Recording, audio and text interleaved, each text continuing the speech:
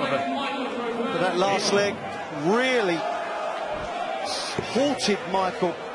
It was like a runaway train in that mini session. But to just lose that last leg when he looked all but the winner would be a massive blow.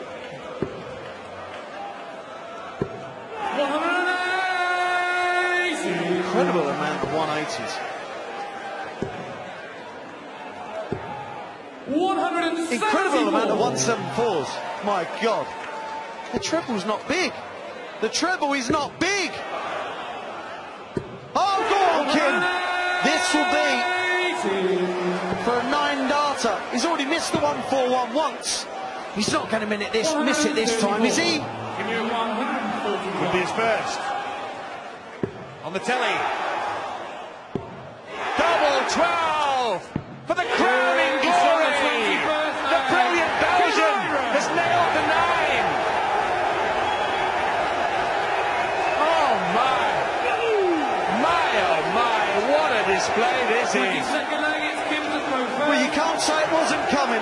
The form he has shown in this match has been nothing like what Kim Huybrechts has shown before on the big stage, and it's against the best player in the world. He's now two legs away from a place in the semi-final, and he's in again. Shades of MVG at the Worlds, you remember